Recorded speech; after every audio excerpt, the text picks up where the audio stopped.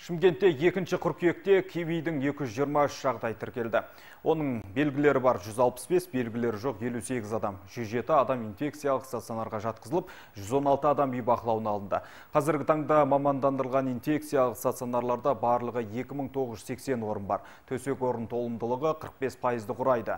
1614 төсек орын бос. Инфекциялық стационарда 1366 науқас емделуде. Жансақтау бөлімінде 497 төсек орын бар. 292 науқас ем қабылдауда.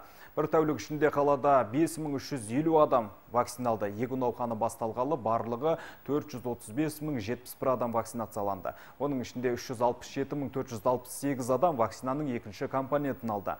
Ғылыммен дәлелденген вакцина пандемияны жеңудің жалғыз жолы болып отыр.